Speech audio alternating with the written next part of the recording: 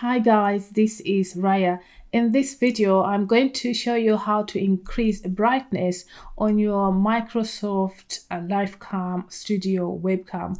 I have had loads of problem with this webcam and I almost gave up on it, but eventually I found a trick and now I saved myself some money because I'm still using my Lifecam webcam and that's all I need for now. I try to find some help on YouTube or Google. I tried Microsoft uh, website. I couldn't find anything. Well, the solution is simple. It is on Windows 10. So if you are using Windows 10, please stay with me. I will show you how this app works and it actually does more than brightness. Uh, so stay with me. Let's start.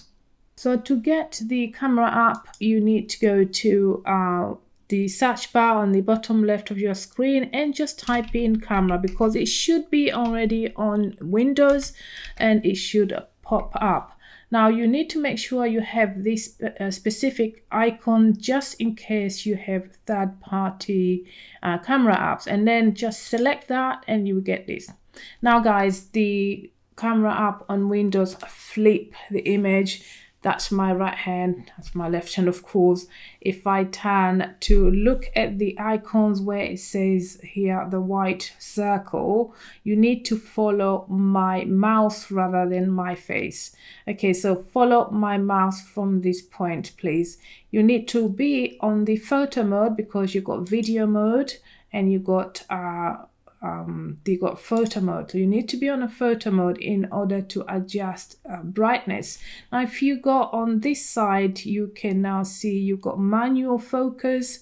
Uh, you've got uh, photo timer if you want to take a photo of yourself and then you have brightness now if you can't find these icons you need to go to settings so go to settings and go down to pro mode. Mine is switched on. So maybe yours is not switched on. It might be like this. And what you will see then, you will see just these two icons. You can't see brightness or focus. So you need to go to settings, go to pro mode and make sure it's switched on. And now when you go back, you can see the icons. You can increase the brightness here. If you click that, uh, so if I go down like that, is dark. And if I go, just hold, you can see the brightness. Suddenly there's look so brightness, surprise, surprise.